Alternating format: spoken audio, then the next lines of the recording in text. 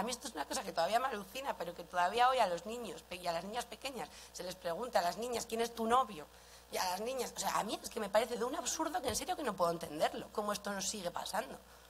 Pues sigue pasando de esta manera, ¿no? Y dices, bueno, pues, pues eso tiene una carga importante si con 15 años dices, hostia, es que soy boyera.